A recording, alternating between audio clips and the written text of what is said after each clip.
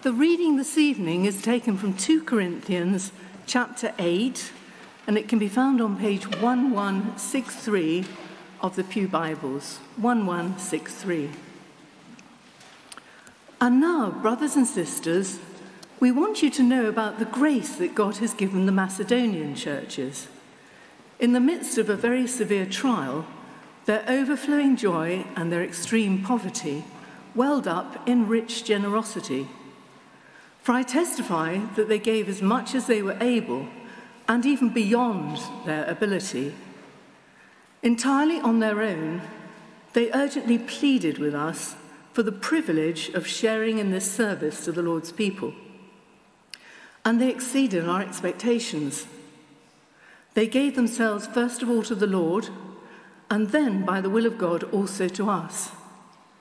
So we urge Titus, just as he had earlier made a beginning, to bring also to completion this act of grace on your part. But since you excel in everything, in faith, in speech, in knowledge, in complete earnestness, and in the love we have kindled in you, see that you also excel in this grace of giving. I'm not commanding you, but I want to test the sincerity of your love by comparing it with the earnestness of others.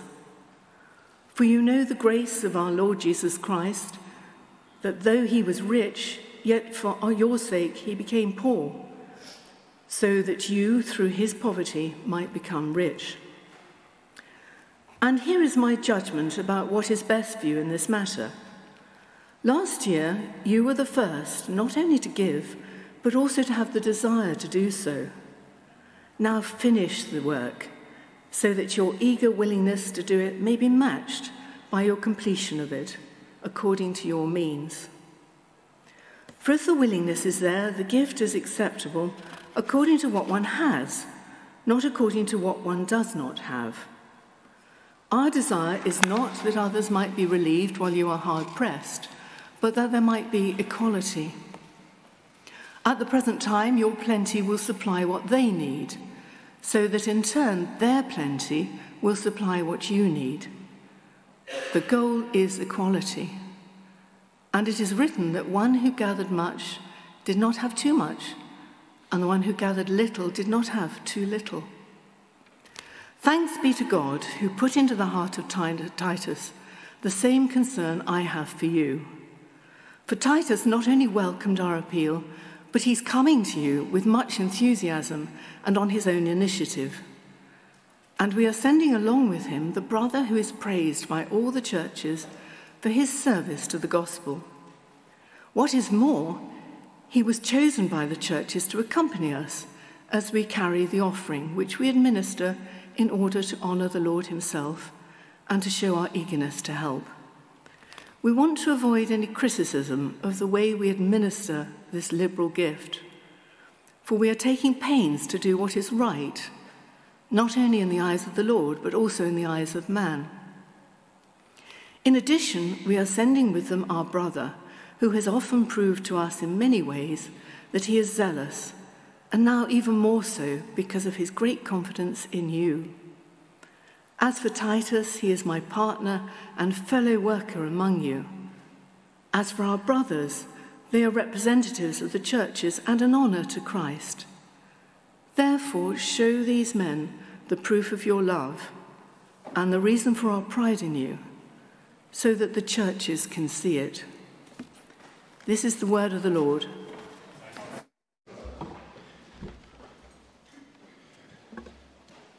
Brilliant. Thank you so much, Nikki. Did anyone else hear that cheer while Nikki was reading?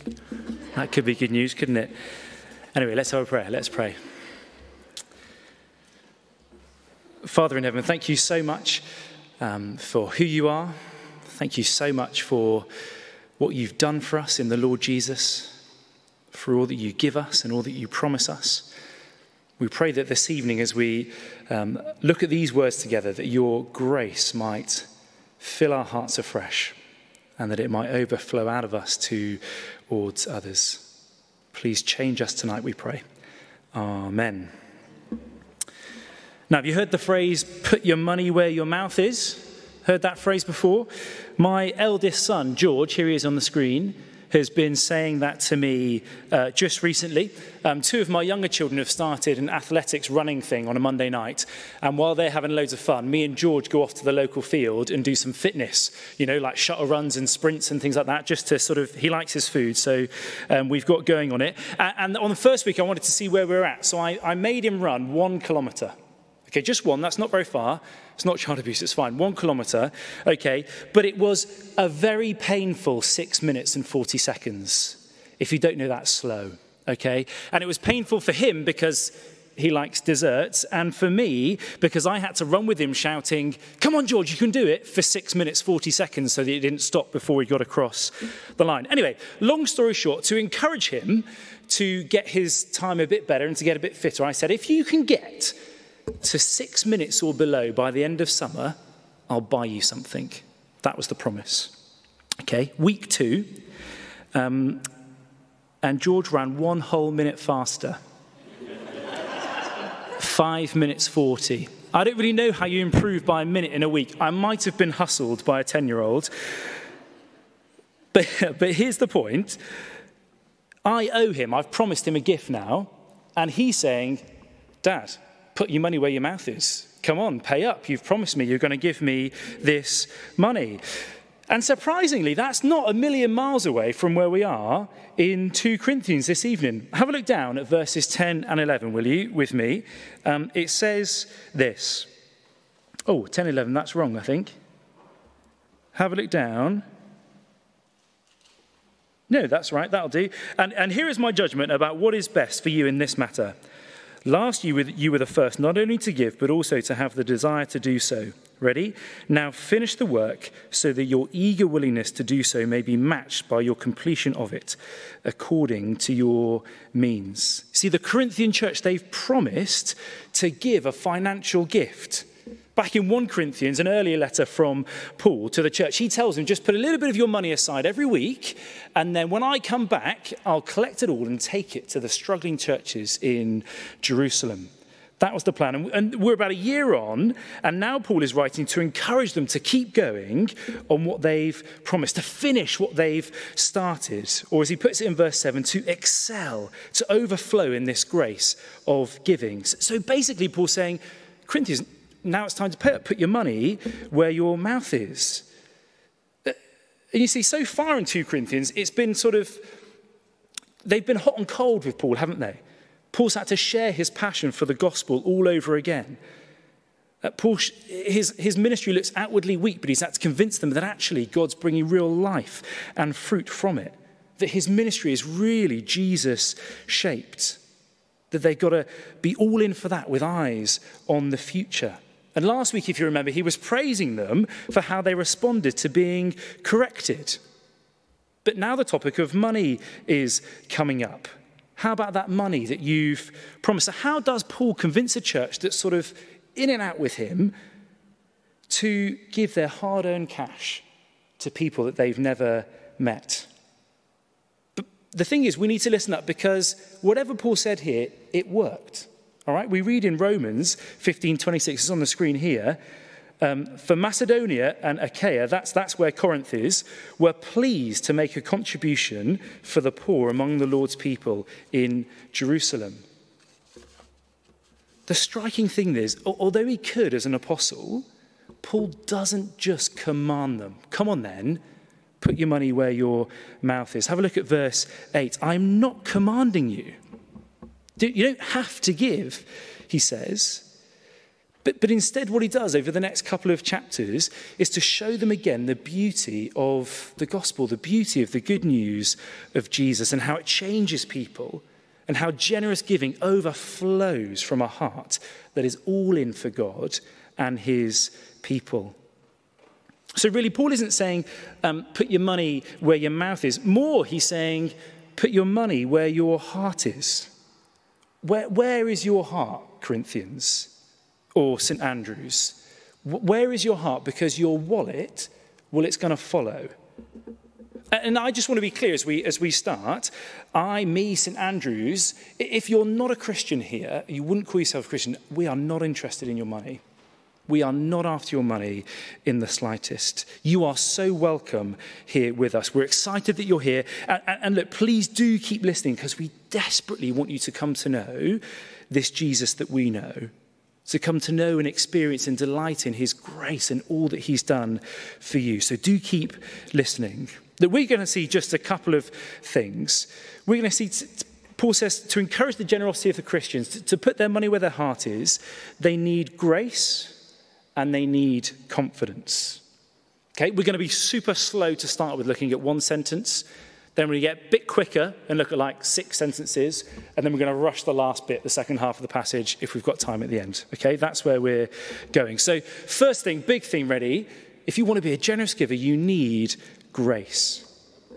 What do I mean by that? Let's dive right into the middle of the passage. Check out verse 9 with me, will you? It's sort of a one sentence overview of Christianity, of the good news of Jesus, but it's using the language of money. It says this For you know the grace of our Lord Jesus Christ, that though he was rich, yet for your sake he became poor, so that you, through his poverty, might become rich. That is a sentence full of amazing things. Paul, Paul, says before Jesus took on flesh, before he became a human, he was rich. He lived in eternal glory, Father, Son, and Spirit together, being constantly praised and worshipped, sat on the throne of the universe. And all through the Bible, we get little glimpses of what that was like. Here's one here, look in Isaiah chapter 6. Okay, I saw the Lord high and exalted, seated on the throne, and the train of his robe filled the temple. Above him were seraphim, each with six wings. Two wings they covered their eyes, with two they covered their feet, with two they were flying. They were calling to one another, Holy, holy, holy is the Lord God Almighty. The whole earth is full of his glory. We were just singing a song, weren't we, about what compares to Jesus? Absolutely nothing. Jesus was rich in every sense of the word, beyond anything we can imagine. Yet, verse 9, for your sake he became poor. Now, that might be, right, the understatement of all of history, or the understatement of at least the last century, okay? For your sake, he became poor. Uh, Jesus, the Lord Almighty himself, became a weak and feeble human, eternal God, clothed, right, in flesh and bone born in a filthy stable, giving a dirty feeding trough for a cot. Could just get your, can you even start to get your head around that? Phil and Jill, right, are about to have a baby, aren't they? Can you imagine if I said to them, right, hey guys, I've got you a cracking present. Um, little hint, don't buy a cot. Okay, I found this thing. It was all the rage in first century Bethlehem. Okay, even Jesus had one, right? Um, and then I turned up with something like this a rusty filthy feeding trough and said, Go on, put your little girl in that. She'll love it. Can you imagine that? I don't think they'd ever invite me back to their house again. It's crazy. But, but, but that's where Jesus was. Jesus didn't come as a, a king to rule, he willingly came as a servant. How does his life end?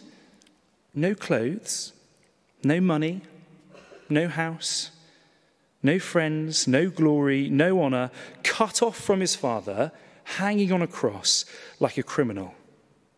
That is a long way from the glory and the riches of heaven. Why on earth would Jesus choose to do that? Verse 9 so that you, so that me, so that anybody through his poverty might become rich. Oh, amazing, right? Paul's already, um, Paul's already told us back in chapter 5 what's happening on the cross. Here it is. Phil read it a minute ago. God made him who had no sin to be sin for us, that in him we might become the righteousness of God. Jesus, the rich, sinless one, died on a cross as a poor sinner, so that you, so that me, so that anybody who trusts in him can be forgiven can have their sins, their rejection of God paid for, can have an eternal relationship with the God of the universe, can become rich. Look, if you're a Christian here tonight, in Jesus, you have an inheritance that will never perish, spoil, or fade. Whatever is building in your bank account is nothing in comparison to that. You are a son or daughter of God Almighty. And one day you will inherit a perfected creation and live there with your perfect creator. You're so rich. How do we, how do we get all this? How does anybody make this their own? Grace. Remarkably, it's a free gift on offer for anybody who would come to Jesus. This is God's free generosity being poured out to anybody who wants it. Do you know the Lord's generosity to you? Has His grace filled your heart yet? Have you come yet to Jesus to receive this free gift? If not, can I just ask you, what, what is stopping you? Verse 9 For you know the grace of our Lord Jesus Christ, that though he was rich, yet for your sake he became poor, so that you through his poverty might become rich.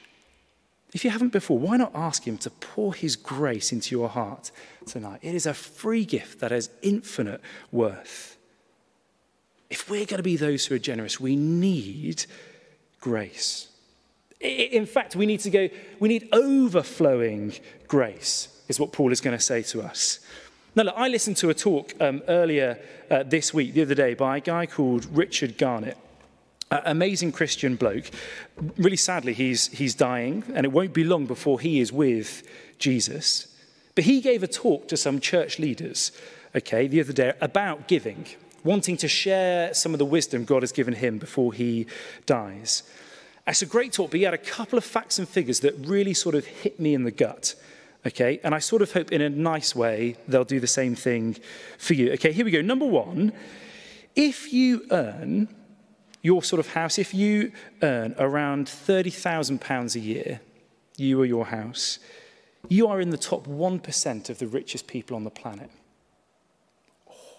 Okay? Fact number two the evangelical church in the West, us, right? Us and churches like us, are the wealthiest, yet the stingiest Christians who have ever lived on the planet. They hit me. They hit me in the gut. They, they sting when you hear those things. And we know the answer. Paul says it's not just to command you to give more, but to be reminded of God's grace to you. But how does that work? Because the Corinthians, right, they, they, like many of us, they already know and have received God's grace. His free generosity. Paul is reminding them, though, that God's grace doesn't just forgive us and draw us into God's family, but it should also change us, ready, and overflow out of us in loads of ways. Verse 6 and 7, ready? Paul says this So we urge Titus, just as he had heard, just as he had earlier made a beginning, to bring also to completion this act of grace on your part. But since you excel or overflow in everything, in faith, in speech, in knowledge, in complete earnestness, and in the love we've kindled in, in you, see that you also excel or overflow in this grace of giving. Now, check this out, because Becky thought she had a good PowerPoint slide the other day, but just look at this. Go for it, Sam. It's supposed to be a bit like this. Ready? To be full of grace, right? God's grace comes in, it fills us up, and then it's supposed to overflow out of us to others. Good, hey? Yeah? But that's the picture. That's what grace is supposed to do. It's supposed to flow in, fill us up, and overflow out of us to others. God's grace in, God's grace out. And did you see at the start of the passage the Macedonians, well, they are a great example of God's grace filling them up and overflowing to others. Just have a look down because it's a remarkable few verses, starting at verse 1. And now, brothers and sisters, we want you to know about the grace that God has given the Macedonian churches in the midst of a very severe trial. Their overflowing joy and their extreme poverty welled up in rich generosity. For I testify that they gave as much as they were able, and even beyond their ability, entirely on their own. They urgently pleaded with us for the privilege of sharing in this service to the Lord's people, and they exceeded our expectations. They gave themselves first of all to the Lord and then by the will of God to us. Do you see in verse 1? It's by God's grace that they give so beautifully. They're giving it so Jesus shaped, isn't it? They're a church that's suffering. We saw last week in 7 verse 5, Paul said what a struggle it was when he was in Macedonia, harassed and conflicts and sleepless nights. By all accounts, it's a tough place to be a Christian. Verse 2 in our passage, they're in a severe trial. They live in, in extreme poverty, and yet their joy is overflowing. They're so full of God's grace, they can't hold it back. It overflows out of them, so much so that they not only gave generously, right, but they begged. They begged Paul to be able to give money they didn't even have. It's a remarkable overflow of grace. I think probably Paul didn't even ask them because he knew their situation. And yet they begged him to be able to be a part of God's work because God's grace was overflowing out of them to others. I don't know about you, but that doesn't often describe my heart when it comes to giving to God's work. Did you see in verse 5? They gave themselves first of all to the Lord, and then by the will of God also to us. They've been captivated by Jesus and all that he's done for them.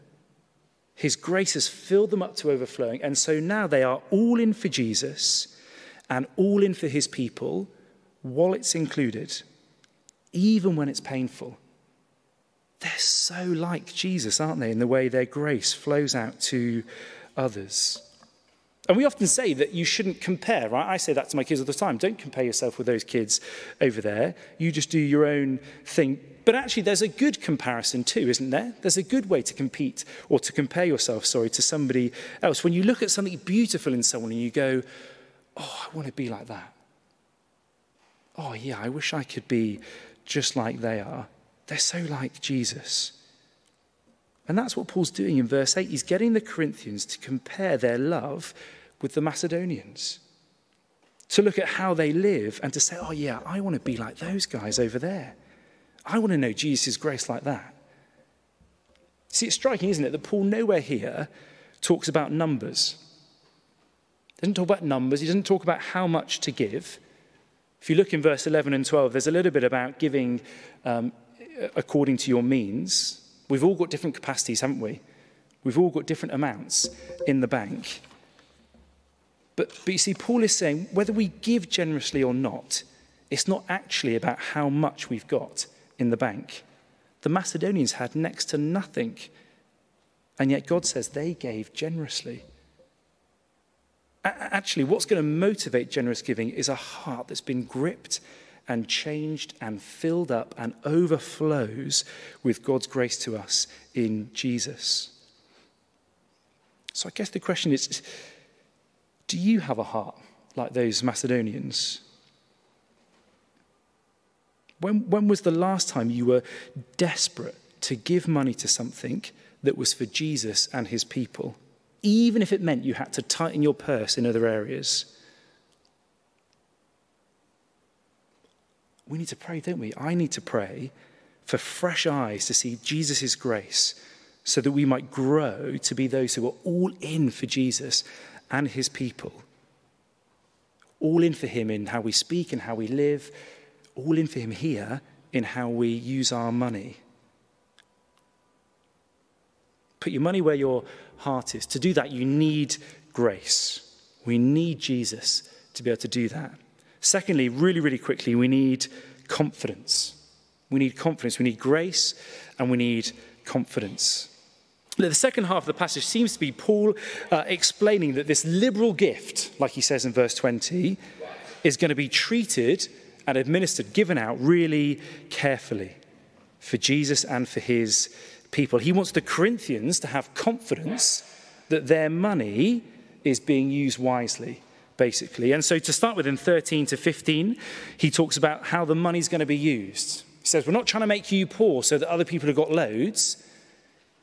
He says, You've got plenty at this moment. And so, wouldn't it be great if you to, could give to those needy Christians over there? That's real life stuff. If you don't give this money, they don't eat. If you don't give this money, that church doesn't get planted. Paul says your money is going to be used wisely for Jesus and for his people. And look, I just want to encourage us, right? Do you remember Katie Terrett?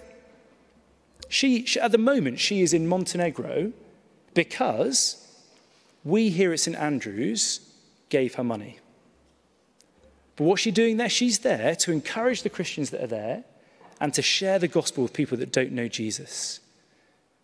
And I don't know about you, I didn't give her very much at all. I think like a tenner, right? Not very much, but I have been so invested on her WhatsApp group, praying for what's going on. I've been interested in it, been seeing her pictures. I feel so invested because I know where my money's gone and what it's trying to achieve. That's a great thing. Confidence, that gives me confidence to give more in the future. Or, or, you know, last, last little thing, really. Paul basically spends seven or eight verses here talking about his finance team, right? He talks about Titus and two other blokes that we don't know their names. And he's not saying, look, I'm sending the heavies, and if you don't pay up, well, they're coming for your money anyway. What he's saying is, I'm sending you the sort of people that love you and that love Jesus and that want to use your money for the good of Jesus and his people. And that is supposed to give them confidence in their giving.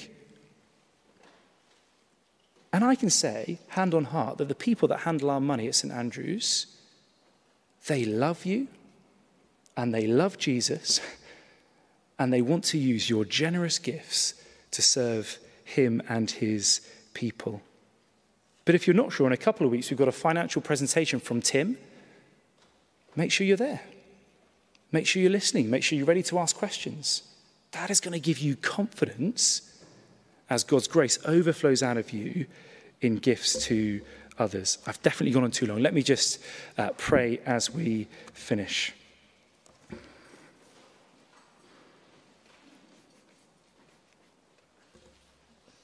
Lord Jesus, we thank you so much for the good news of the gospel.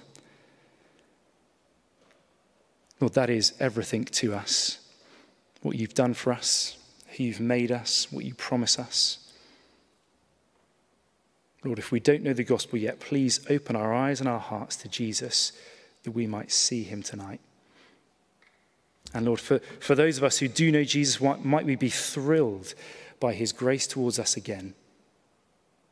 And might it drive us to be all in for Jesus and his people, even with our money. And we ask it in Jesus' name. Amen. Amen.